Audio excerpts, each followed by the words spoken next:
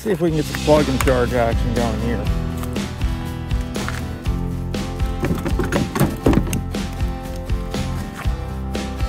Hello everyone, welcome back. Today we're taking an Arctic road trip to Durham, New Hampshire. It's really, really cold outside here in Maryland. It's about 17 degrees right now. It's even colder overnight, probably down around 10 or even in the single digits. But this trip is really going to test the cold weather range of the Rivian. So we're excited to get out there and see how it performs. So let's get started. Okay, everyone, so we're on the road. The outside temperature is about 23 degrees as shown on the display. It's warmed up a couple degrees. The battery was nice and warm because we did the scheduled departure. Battery was 73 degrees when we left. We're planning our first stop at the Mills at Jersey Gardens. That's in Elizabeth, New Jersey. It's 207 miles from where we are now, and we're at 96% state of charge. Now I've reset my trip meter, and I am in conserve mode, so that I can get the most efficiency possible. And I think most folks, when they drive a Rivian on the highway on a long road trip, are going to be in conserve mode because the range is going to be more important than having the four-wheel drive. And because of that, that's why we're doing this trip in conserve mode. But my trip meter says we've gone 10.4 miles and we're averaging 1.78 miles per kilowatt hour, which is actually pretty good considering it's now saying 21 outside. So we're going to continue to monitor things along this road trip. This will be the first time we're taking the Rivian on a long road trip in such frigid conditions. 21 degrees is pretty cold. Any electric vehicle below 20 degrees really, really takes a hard hit to the range. And it'll be a good test for the Rivian scheduled departure feature, which just came in the 2023.50 software update. So I'll check back in with you guys in a bit. People, if you're going to be out driving on the highway, clean your roof off. Moving a little faster here because I don't want this truck getting in front of me.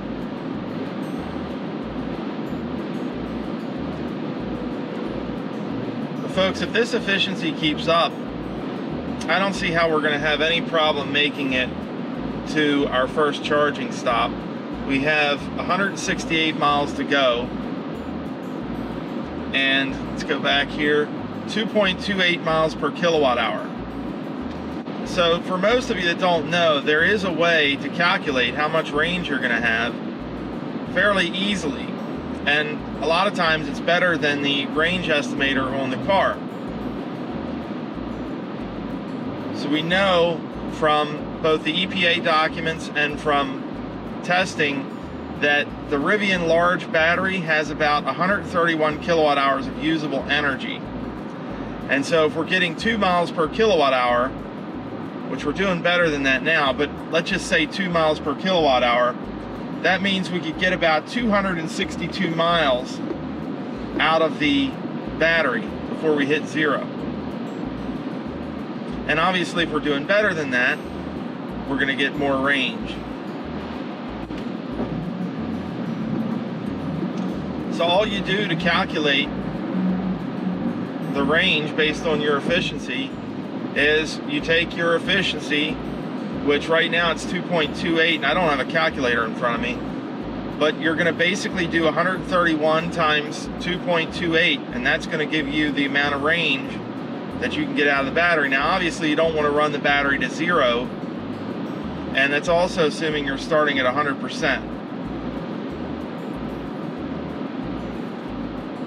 but you get the idea so we're going to continue to move along here. We've gone 50 miles so far, and the efficiency is dropping a little bit because we're going a little bit faster. But I'll check in with you guys in a bit. Another nice thing about the current software updates is that Driver Plus is really, really nice now. You can do lane changes without having to manually disengage and re-engage the auto steer. So I'll demonstrate this for you. I did it in a previous video, but I'm basically going to take over control here, and then when I get in my lane, it automatically re-enables itself. Really a great feature.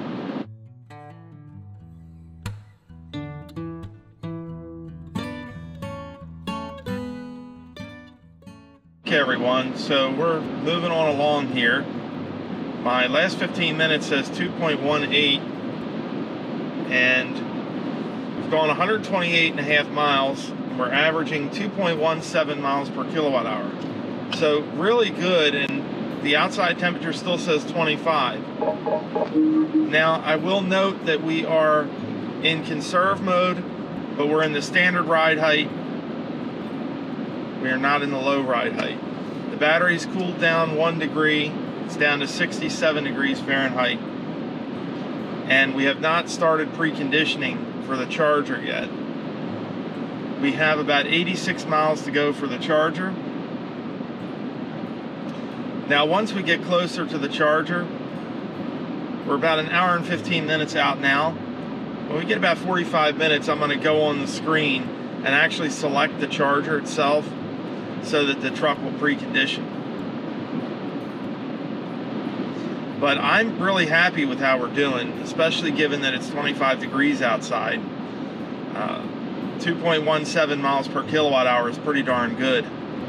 All right, so I'm a little less than 45 minutes out from Elizabeth, New Jersey. So I'm now going to select the charger on the nav screen so that the truck will precondition. My battery temperature's gone down to 66. My efficiency has gone down a little bit to 2.11. So I'm going to go ahead back into my navigation. I'm going to tap the little lightning bolt over here on the right. Now I want the Electrify America station, but I've got my network set to Electrify America and Rivian. And I tapped on speed and I want the three lightning bolts, which is nothing less than 150 kilowatt.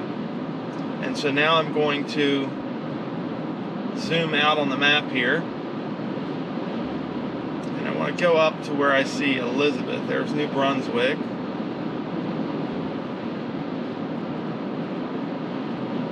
This is the Elizabeth charger here, so I'm going to tap that. Electrify America, Mills at Jersey Gardens. I'm going to say go.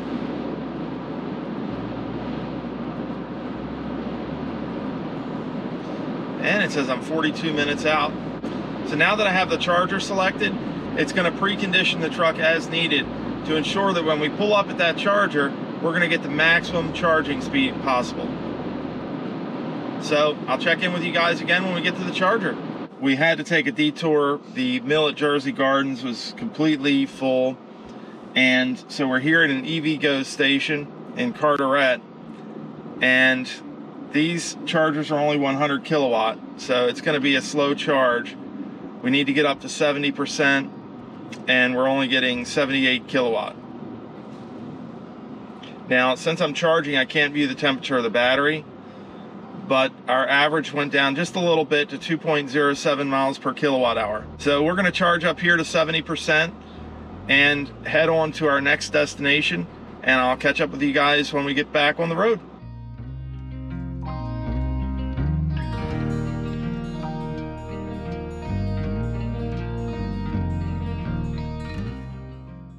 All right, so we left the Carteret. It was kind of a sketchy uh, EV charger, and it was only 100 kilowatt.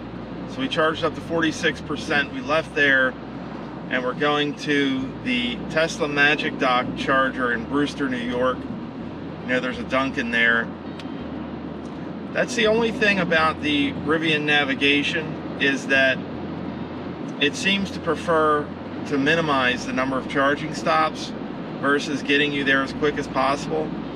So it wanted us to charge there at Carteret for an hour to get to 80% before continuing on our trip.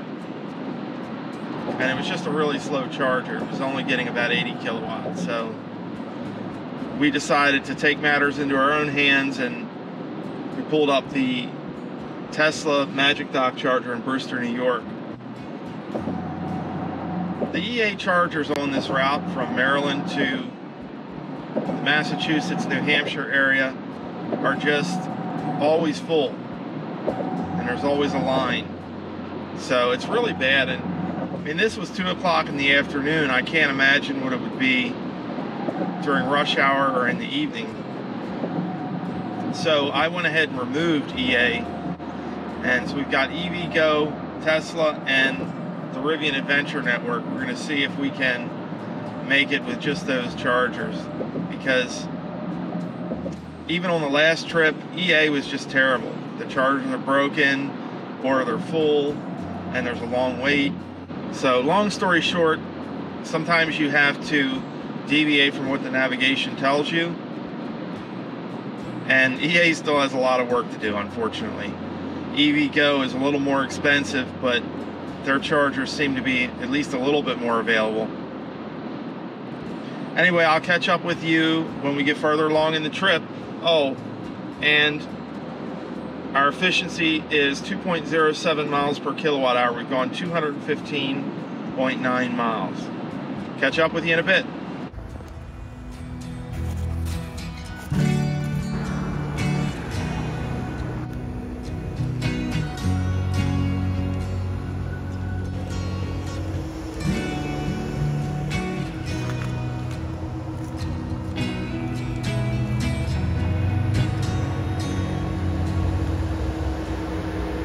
Okay everyone, so here in Brewster, getting good speed, 141, 142 kilowatt. I don't think it preconditioned on the way here, but it may have, and I didn't notice it. But let's take a look at our efficiency.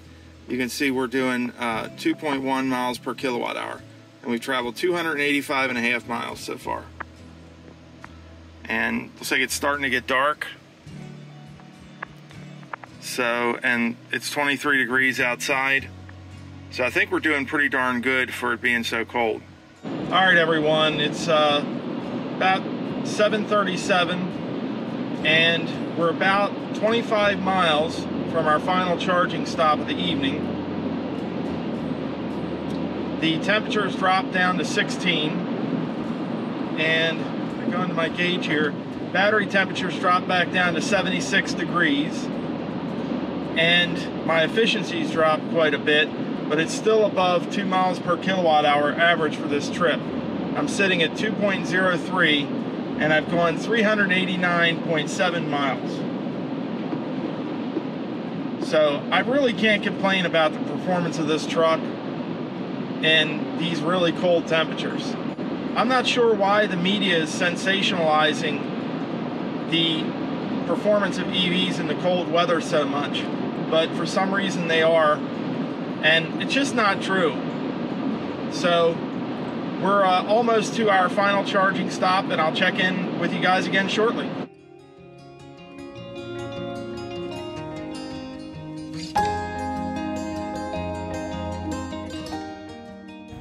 see if we can get some plug and charge action going here.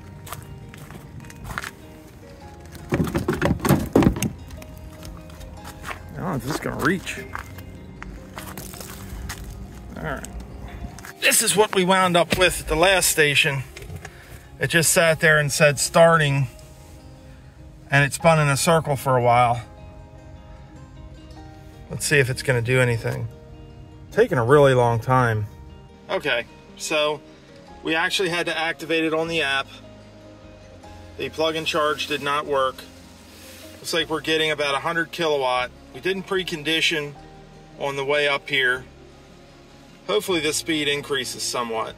This is supposed to be a 350 kilowatt charger. So let's keep our fingers crossed that we ramp up a little bit here. Battery was still in the low 70s when we pulled up.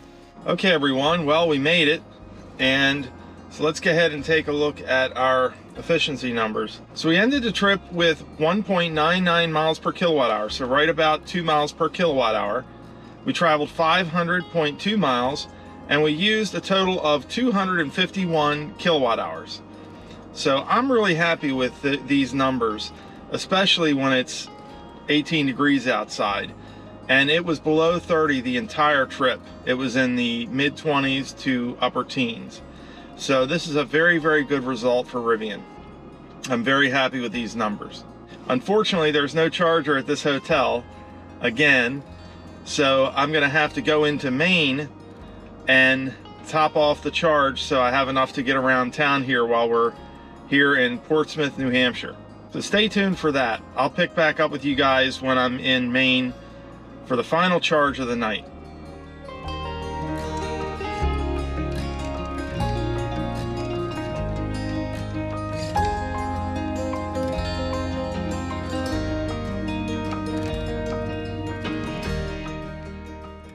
Okay everyone, I'm here at the charger topping everything off. It seems like the mainstream media has just been really down on electric vehicles for no real reason.